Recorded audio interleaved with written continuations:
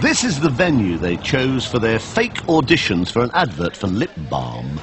We're hoping that we can use part of this in a national commercial, right? And this is a test on some lip balms that we have over here. Okay. And these are our models who are going to help us, Roger and Matt. Okay. And we have uh, our own lip balm and we have a leading brand. Okay.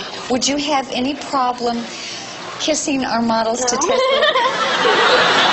You wouldn't? No. You think that was fine? That would be fine. Okay. Uh, so that this is uh, a blind test, I'm going to ask you to, to go ahead and put a, a blindfold Okay. on. Okay, now can you see anything? No. Hold up so you can't even see down. Okay. It's completely blind now, Yeah. right? Yes. Okay. Now, what I'm going to be looking for in this test Mm-hmm. is um, how soft the lips, okay, the texture. Right, and maybe if you can discern any flavor or not. Okay. Have you ever done a kissing test before? You excited?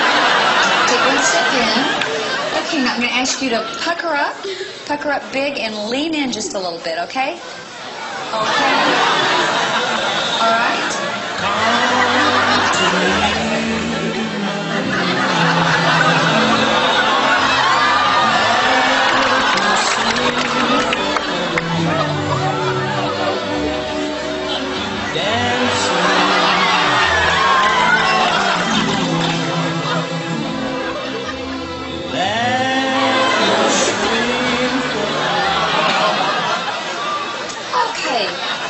Jennifer, how did that feel? Good.